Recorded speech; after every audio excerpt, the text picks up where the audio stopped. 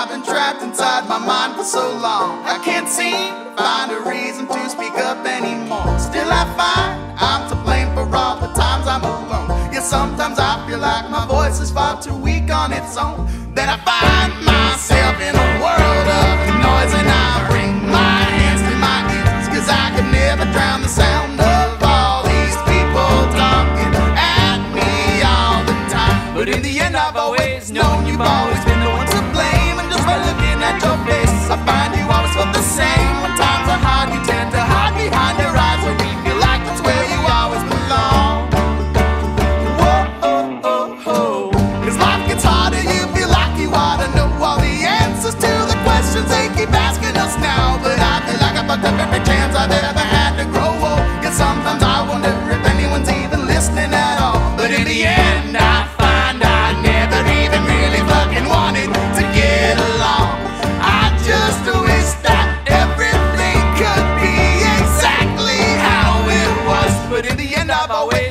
You've always been the one to blame, and just by looking at your face, I find you always felt the same. When times are hard, you tend to hide behind.